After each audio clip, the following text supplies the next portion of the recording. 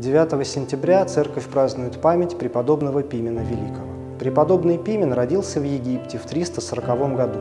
Повзрослев, он вместе с братьями принял монашеский постриг в одном из монастырей, желая посвятить себя подвигу поста и молитвы. Для многих он стал наставником.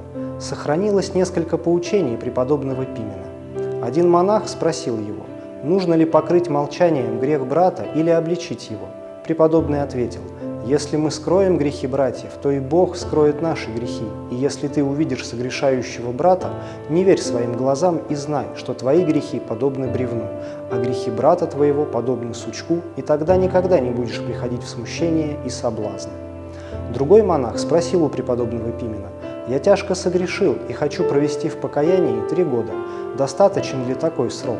Преподобный старец ответил, это много. Монах продолжил спрашивать, какой срок старец сочтет достаточным. Тогда преподобный сказал, если от всего сердца покаешься и положишь твердое намерение более не возвращаться к греху, то Бог примет и трехдневное покаяние.